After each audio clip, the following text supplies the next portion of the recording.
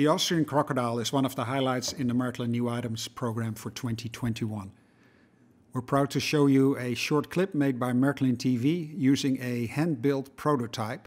So you'll see, for example, that the wheels are not uh, the spoke wheels yet and the body is not a metal body but a hand-built plastic body for now. But still, it'll be an interesting clip to see. Another distinctive-looking locomotive joins the Märklin and Trix H0 range. Class 1189, also known as the Austrian Crocodile, is made from completely new tooling. With its typical elongated shape, this engine really can't deny her famous reptile relatives in Switzerland.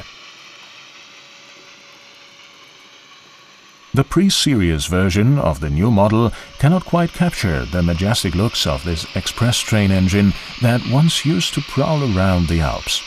The finished model will primarily be made of metal. The roof equipment is highly detailed and looks as realistic as can be. Trix and Märklin will both offer a three-piece set of matching cars with individual car numbers and scale-sized load inserts.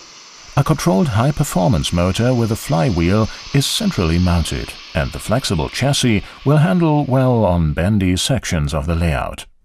The CAD drawing already depicts much of the lavish design.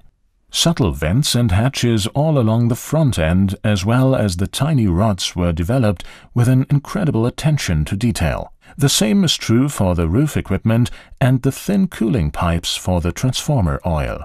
Two wheels on each truck are driven via cardan shafts. The Austrian crocodile can look back on a long and eventful life. Her story began in the early 1920s with the electrification of the Arlberg route. The railroad company found itself in need of a suitable locomotive. In later years, the engine was transferred to the Salzkammergut Mountains, where she hauled heavy freight trains carrying limestone. Class 1189 was also used at the Tauern Railroad. Her work life was dominated by freight traffic. She was rarely observed with a passenger train in tow.